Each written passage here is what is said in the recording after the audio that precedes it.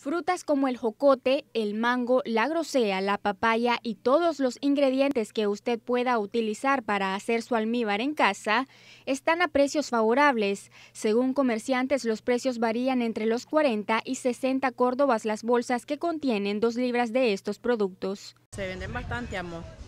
Bastante es el tiempo de los jocotes y de los, de los, de los mangos y de los aguacates. El almíbar. El almíbar de la Semana Santa. Pues yo los miro favorables, favorables los precios.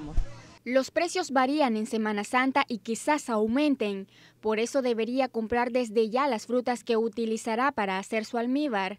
Estos productos usted puede conservarlos si los lava antes de guardarlo, separe alimentos para optimizar la conservación y recuerde que no todas las frutas necesitan refrigeración. Con cámaras de Ernesto Alaniz en Impacto 11, Ana Gabriela Ugarte.